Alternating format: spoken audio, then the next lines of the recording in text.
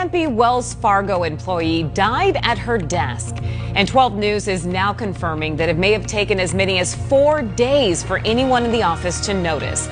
Gabby, four days. I mean, this poor woman went four days undiscovered. It's hard to believe. And that's a question many employees are asking themselves tonight. I spoke with an employee who said that she shared her perspective on the workplace environment, and they say it's a big building, but most people don't work there on a daily basis.